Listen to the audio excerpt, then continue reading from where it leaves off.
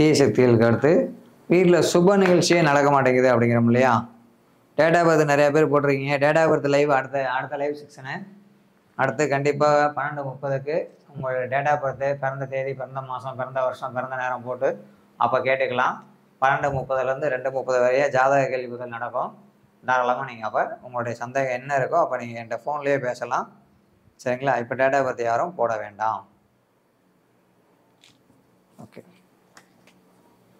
Right அதுக்கடுத்து சுப நிகழ்ச்சி எங்கள் வீட்டில் நடக்கல சார். சுப நிகழ்ச்சினா என்ன?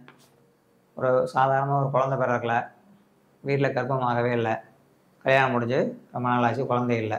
குழந்தை பிறந்துருச்சு. குழந்தைக்கு ஒரு மொட்டை அடிக்க முடியல. ரொம்ப நாளாக போகலாம் போகலான்ட்ருக்கோம் போகவே முடியல.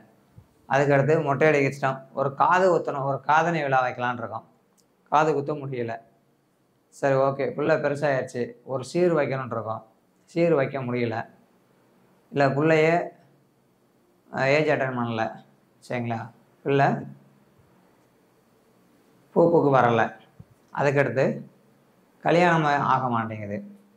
சரிங்களா? இந்த மாதிரி வந்து தொடர்ந்து எங்கள் வீட்டில் சுப நிகழ்ச்சி எதுவுமே இல்லை சார். எங்கள் வீட்டில் மங்கள சத்தமே கேட்கல சார் அப்படிங்கிறவங்களும் அல்லது ஜாதகத்தில் குருமங்கள யோகம் சொல்லக்கூடிய குருவும் செவ்வாயும் சேர்ந்து இருக்கிறவங்களும் அல்லது குருவும் செவ்வாயின் பார்வையில் குருவோ இல்லை செவ்வாயின் பார்வையில் குருவோ குருவின் பார்வையில் செவ்வாயோ மாற்றி இருக்கிறவங்களும் அப்போ குரு செவ்வாய் கனெக்டிவிட்டி உள்ளவங்க எல்லாமே இந்த கோவிலுக்கு போயிட்டு வந்தால் கம்பல்சரி சுப நிகழ்ச்சிகள் வீட்டில் நடக்கும். குருமங்கள யோகம் உண்டாகும். கழுகுமலை கழுகு மலையில் உள்ள சரிங்களா? கழுக கழுகாசல மூர்த்தி. கழுகு மலையில் உள்ள கழுகாசல மூர்த்தி செவ்வாய்க்கிழமையில் வழிபாடு பண்ணிங்கன்னா ரொம்ப சிறப்பு. இங்கே கிரிவலம் வந்தீங்கன்னா ரொம்ப சிறப்பு.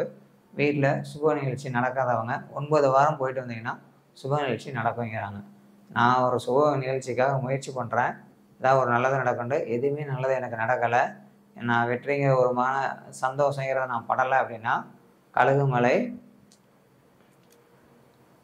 கழுகாசலமூர்த்தி கோயிலுக்கு போயிட்டு அங்கே முருகனும் சிவனும் இருப்பாங்க. தனித்தனி சன்னதி இருக்கும். போயிட்டு செவ்வாய்க்கிழமை ஒம்பது தீபம் ஏற்றி ஒம்பது செவ்வாய்க்கிழமை தொடர்ந்து வழிபாடு பண்ணிட்டு வந்தீங்கன்னா கண்டிப்பாக உங்கள் வீட்டில் சுப நிகழ்ச்சி உண்டாகும். மங்கள வார்த்தையை உங்கள் வீட்டில் கேட்கும். அதனால் மங்களமே எங்கள் வீட்டில் எது நடக்கலைங்கிறவங்களுக்கு இந்த கோவிலை பயன்படுத்துங்க.